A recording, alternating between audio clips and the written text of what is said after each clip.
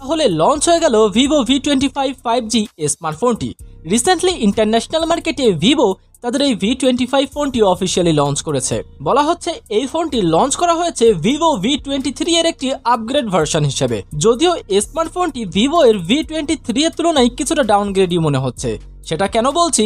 ভিডিওটি সম্পূর্ণ দেখলে বুঝে যাবেন। ভিভো তাদের নতুন ভি টোয়েন্টি ফাইভ স্মার্টফোনটিতে প্রসেসর হিসেবে ব্যবহার করেছে মিডিয়াটেকের ডায়মন্ড সিটি নাইন হান্ড্রেড প্রসেসরটি সিক্স মিলিমিটার আর্কিটেকচারের উপর তৈরি করা এই ফাইভ জি প্রসেসরটি ক্লক রয়েছে টু পয়েন্ট ফোর গিগাহার্সে এবং এখানে জিপিইউ হিসেবে ব্যবহার করা হয়েছে মালিয়ের G sixty eight MC four GPU আর ভিভো যেখানে তাদের নতুন ভি টোয়েন্টি ফাইভ স্মার্টফোনটিতে ডায়মন্ড সিটি নাইন হান্ড্রেড প্রসেসরটি ব্যবহার করেছে সেখানে কিন্তু ভিভো ভি টোয়েন্টি থ্রি স্মার্টফোনটিতে ব্যবহার করেছিল মিডিয়াটেকের ডায়মন্ড সিটি নাইন টোয়েন্টি যেটা অবশ্যই ডায়মন্ড সিটি নাইন হান্ড্রেডের তুলনায় কিছুটা বেটার পারফরমেন্স ডেলিভার করতে পারে। তো এক কথায় বলতে গেলে ভিভো ভি টোয়েন্টি ফাইভ স্মার্টফোনটি পারফরমেন্স সেগমেন্টে ভিভো ভি টোয়েন্টি থ্রি তুলনায় কিছুটা ডাউনগ্রেড এছাড়াও ভিভো তাদের এই ভি টোয়েন্টি ফাইভ স্মার্টফোনটিতে ব্যবহার করেছে সিক্স পয়েন্ট ফোর ফোর ইঞ্চের একটি full HD plus AMOLED display যেটা নাইনটি হার্স রিফ্রেশ রেট এর সাথে আসে।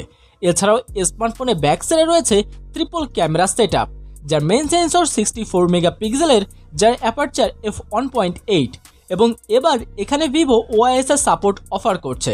পাশাপাশি একটি রয়েছে এইট মেগাপিক্সেলের আলট্রা ওয়াইড এবং টু মেগাপিক্সেলের ম্যাক্রো এবং স্মার্টফোনটিতে পঞ্চাশ মেগাপিক্সেলের একটি সেলফি শ্যুটার অফার করছে কিন্তু ভিভো যেখানে ভিভো ভি টোয়েন্টি থ্রিতে আমরা দুটি সেলফি শ্যুটার পেয়েছিলাম। যদিও ভিভো তাদের ভি টোয়েন্টি থ্রি স্মার্টফোনের ব্যাকসাইডে কোনো প্রকার ওয়াইএসআর সাপোর্ট প্রোভাইড করেনি।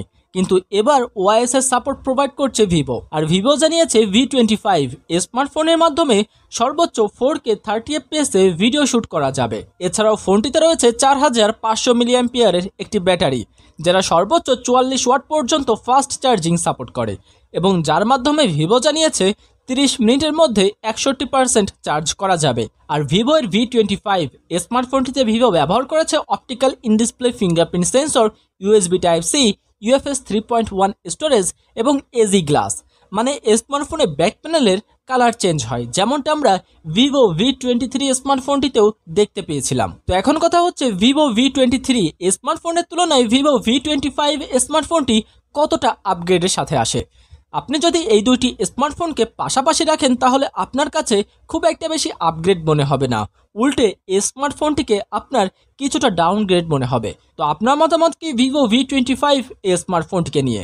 এই স্মার্টফোনটি যদি বাংলাদেশ মার্কেটে অফিসিয়ালি লঞ্চ করে ভিভো বাংলাদেশ, তাহলে স্মার্টফোনটির প্রাইস কি হতে পারে বলে আপনার মনে হয়? অবশ্যই সেটা আমাদের কমেন্ট বক্সে জানিয়ে দিতে পারেন।